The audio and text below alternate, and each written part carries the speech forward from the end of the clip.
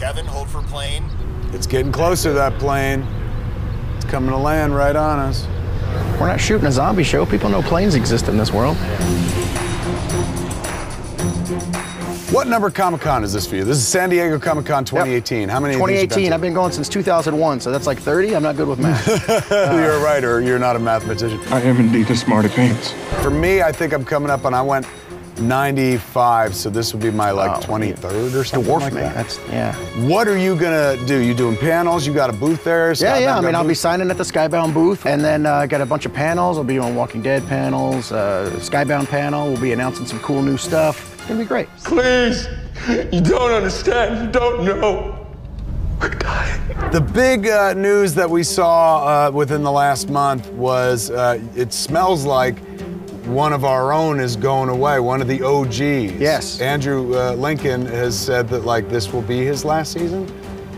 It's looking that way. You want to talk about it?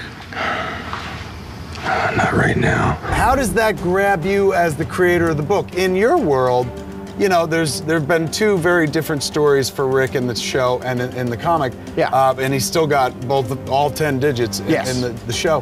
How does that affect you? Because you're like, wait, wait, wait, man. Like if you're going, Yeah. well, I, I still got Rick going on. Yeah, I mean, it does make the differences between the comic and the show a little bit more uh, pronounced. Right. Uh, but at the end of the day, it's it's all about Andrew Lincoln. I mean, this is a human being. This is somebody that I've known for almost a decade. Somebody that I love. He's been sweating in Georgia, uh, away from his family for so long. I hear Nebraska's nice. And tamping down his natural British accent, which yeah, is probably the which thing is he should so be applauded difficult. for the most. Exactly. di- you can't do that. If I had a British accent, how could you hold that back? If somebody made me speak British all year long and I had to tamp down my American, I too would be like, I'm out of here after season nine.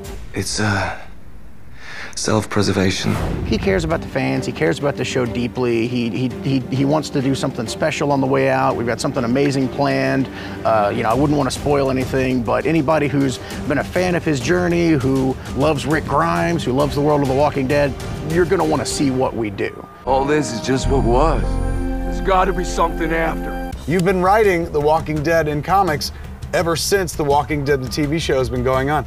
Was it a Yeah. strategic kind of like, well, I'll keep all plates spinning, or did that come from a place of like, look, I started this journey and I'm happy the journey has developed into a TV show, but I'm still on my journey and I'm going to go Yeah. with it till the end? Well, it's two things. One, I wanted to do uh, the zombie movie that never ends in comic book form, and Nice. it's a tremendous gift from the fans, from the world at large, to be able to continue telling that story.